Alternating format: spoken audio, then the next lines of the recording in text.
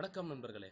இன்றைக்கி காணொலி பார்த்தீங்கன்னா பேங்க்கில் லோன் எடுத்துகிட்டு இருக்கவங்களுக்கு மூன்று மாதம் அந்த லோனை வந்து கடைசி முடிவில் கட்டணும் அப்படின்னு சொல்லி அரசு சொல்லியிருந்தது.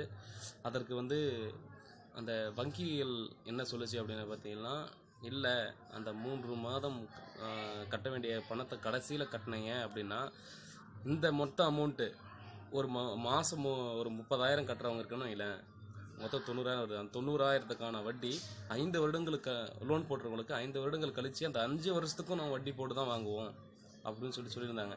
இதுக்கு வந்து அரசு வந்து இது வரைக்கும் எந்த பதிலையுமே சொல்லலை. அதனால் இன்றைக்கி ஒரு நியூஸ் பார்த்தேன். அதில் இந்திய இந்திய வங்கி ஊழியர்கள் சமையலும் அப்படி டிபார்ட்மெண்ட்லேருந்து ஒருத்தர்கிட்ட பேட்டி இருந்தாங்க அவர் சொன்னது பார்த்தீங்கன்னா கூடுமான வரையில் நீங்கள் உங்கள் காசை எப்படியாவது திரட்டி கட்ட முயற்சி செய்யுங்க அப்படின்னு சொல்லியிருக்காரு. ஏன் அப்படின்றத அடுத்த காணொலியில் பார்க்கலாம். பேங்க் பார்த்தீங்கன்னா ஏன் நான் வந்து வட்டி இல்லாமலாம் கொடுக்க முடியாது? இந்த மூணு மாதத்துக்கான அமௌண்ட்டை கொடுக்க முடியாதுன்னு சொல்கிறாங்க அப்படின்னு பார்த்தீங்கன்னா நீங்கள் ஐந்து வருடங்களுக்கு எடுத்துக்காட்டாக கட்ட வேண்டியிருக்குன்னு வைங்களேன். இந்த மூன்று மாதம் அமௌண்ட் வந்து அஞ்சு வருஷம் கடைசியில் தான் கட்டுற மாதிரி இருக்கும். எடுத்துக்காட்டாக ஒரு முப்பதாயிரம் கட்டுறவங்க இருக்கான்னு வைங்களேன்.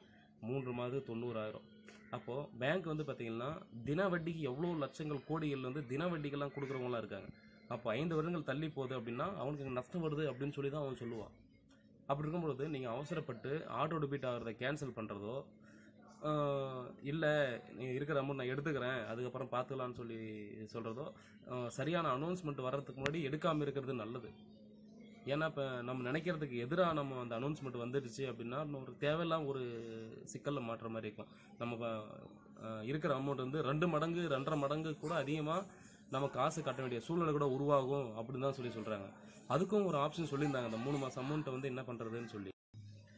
அவர் சொன்ன ஒரு விஷயம் என்னன்னு பார்த்தீங்கன்னா அந்த இந்திய வங்கி ஊழியர் சம்மேளம் அப்படின்ற ஒரு டிபார்ட்மெண்ட்ல ஒரு பேட்டி கொடுத்துருந்தது என்னன்னு பார்த்தீங்கன்னா இந்த மூன்று மாதங்கள் நீங்கள் க பணம் கட்ட முடியாதவங்க கட்டாதவங்க அடுத்து இப்போ ஒரு ஐந்து வருடங்கள் நீங்கள் லோன் எடுத்திருக்கீங்க அப்படின்னு சொல்லி சொன்னால் இதுக்கப்புறம் கட்ட வேண்டிய மாதங்களுக்கு பார்த்தீங்களா? அந்த மாதங்களில் இந்த பேலன்ஸ் இந்த மூணு மாதம் அமௌண்ட்டை வந்து ஒரு ஒரு மாதமும் சேர்த்து பிடிச்சிக்கோங்க. ஸ்ப்ளிட் பண்ணி பிடிச்சிக்கோங்க. அப்படின்ற மாதிரி ஒரு ஆப்ஷன்ஸ் இருக்குது அப்படின்ற மாதிரி அவர் சொல்லியிருந்தார். தயவு செஞ்சு வந்து இந்த மாதிரி இதை க்ளோஸ் பண்ணணும்னு நினைக்கிறவங்க மூணு மாதம் காசு வேணாம் இட இது, எடுத்துக்கிறேன் எனக்கு தேவைப்படுதுன்னு சொல்லி நினைக்கிறவங்க இந்த மாதிரி ஒரு ஆப்ஷன் இருக்கா அப்படின்னு சொல்லி கேட்டு தெரிஞ்சுக்கிறது கொஞ்சம் நல்லதாக இருக்கும்னு தோணுது. அதனால் இதை கொஞ்சம் செக் பண்ணிக்கோங்க. ஏன்னா நம்ம இப்போ இருக்கிற சூழ்நிலை வந்து நமக்கு இதை பற்றி யோசிக்கிறாங்களா என்னன்னு தெரியல பேங்க்ஸ் எல்லாம் நம்ம அரசு எல்லாம் யோசிக்கிறாங்களான்னு தெரியல.